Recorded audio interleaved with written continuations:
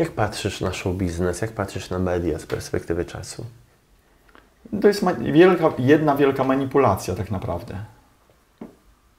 M- mają wykreować naszą potrzebę?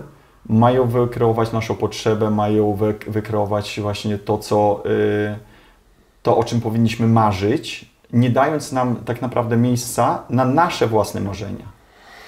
No to pięknie się włożyło to w wywiad, który e, był w emisji, e, mogę tak powiedzieć, bo ten będzie wyemitowany później, z Wojciechem Eichelbergerem o tych, polecamy jak ktoś nie widział, o tym Matrixie, o tych, że zarzuca nam się, kreuje się potrzeby i mówi się, że są one dla nas i są niezbędne do tego, żeby żyć.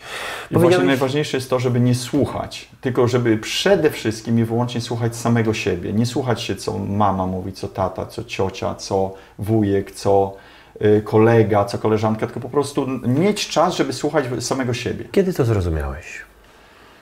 Wydaje mi się dopiero wtedy, jak y, w Indiach, jak miałem troszeczkę czasu, żeby się odciąć od tego wszystkiego i tak naprawdę pozostałem tylko i wyłącznie z samym sobą i ze swoimi myślami. I wtedy właśnie już byłem na tyle dorosły, na tyle świadomy, żeby podejmować takie decyzje, że nie, że cały, cały ten pęd za tym wszystkim, za, ty, za sławą, za pieniędzmi, za kontaktami, to w ogóle nie ma żadnego sensu tak naprawdę dla mnie. Być może są ludzie, dla których ma to sens, ale dla mnie nie ma.